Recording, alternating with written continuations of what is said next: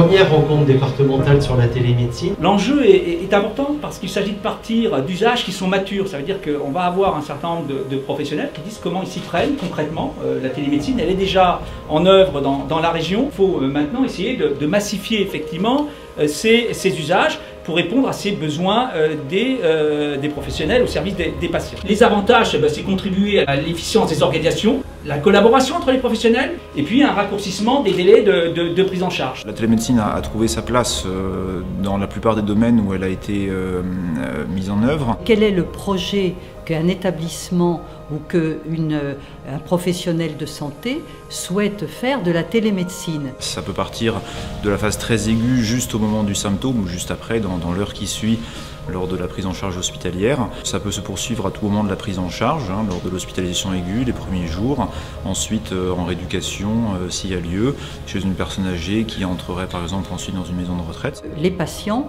sont tout à fait prêts. D'ailleurs, la question qui a été posée tout à l'heure aux deux médecins qui intervenaient, ils ont bien dit euh, que la relation qui pouvait exister n'était absolument pas perturbée. Peut-être un petit effet de surprise chez des populations âgées qui ne sont pas très habituées aux outils numériques et l'utilisation de, de, ces outils euh, dans le cadre d'une prise en charge aiguë. Il faut faire aussi cet accompagnement pour les usagers du système de santé parce qu'ils peuvent être un levier pour le déploiement de la télémédecine.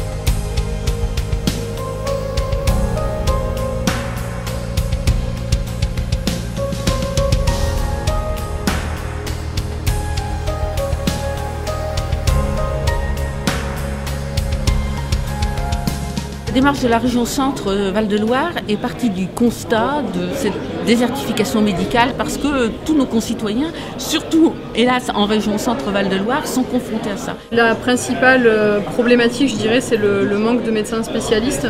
Et quand on a des médecins spécialistes, c'est le manque de temps. Le projet médical, justement, on parle de projet médical, mais également organisationnel, parce qu'il euh, faut revoir toute l'organisation, l'impact de, euh, de, de, la télémédecine, cette nouvelle pratique sur l'activité actuelle.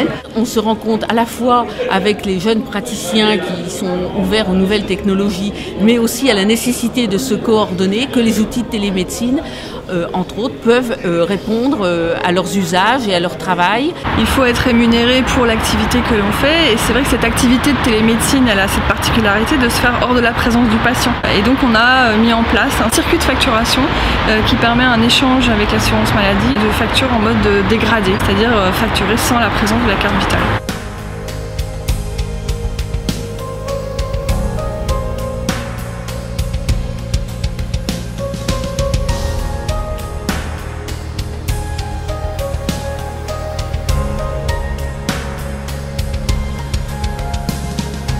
Une fois que les installations, les équipements sont sur place, sont opérationnels, le projet médical élaboré, euh, vient la phase de la formation.